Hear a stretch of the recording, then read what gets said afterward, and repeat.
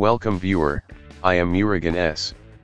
This video tutorial describes, fix web pages not loading issue, cannot open web pages but internet connected.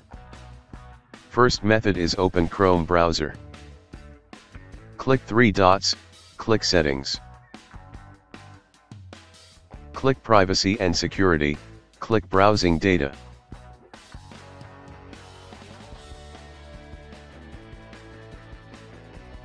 Check only cookies and other site data, also check cached images and files.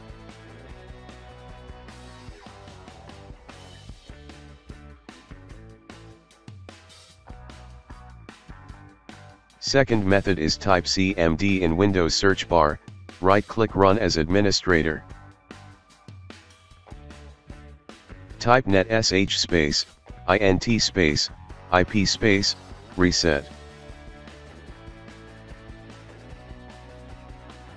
Type net sh space, winsock space, reset.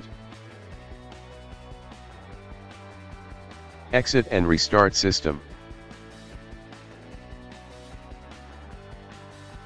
I hope this video tutorial helps to you, please like, share and don't forget to subscribe my channel, thank you very much, see you next video.